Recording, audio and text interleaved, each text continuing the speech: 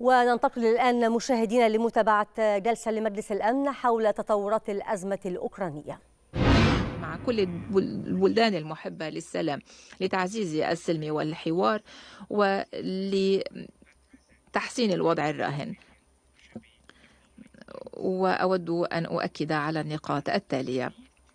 بداية لابد من التوصل إلى صمام أمان في هذا النزاع. فالقانون الإنساني الدولي يجب أن يلهم سلوك أطراف النزاع. المدنيون والمنشآت المدنية يجب ألا تستهدفها الضربات العسكرية. مؤخرا حصلت اعتداءات متكررة على محطة زابوريجا النووية وقد استقطب ذلك اهتمامنا وأثار قلقنا وهدد بكارثة نووية.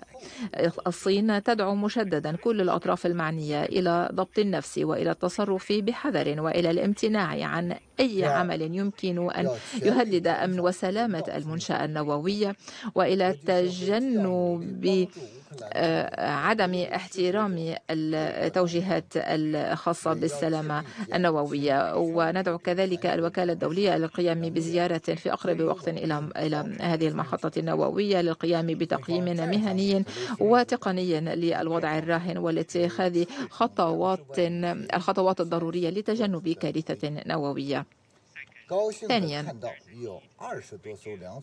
لابد كذلك من تأثير المفاعيل الإنسانية لهذه الأزمة. وعلى الأسرة الدولية أن تساعد اللاجئين والنازحين الأوكرانيين وأن تحد من الصعوبات التي يواجهها وعليها من جهة أخرى أن تحد من تأثيرات الأزمة على أسعار المواد الغذائية والفيول والاستقرار الدولي. وتثني الصين على جهود الأمين العام والأطراف المعنية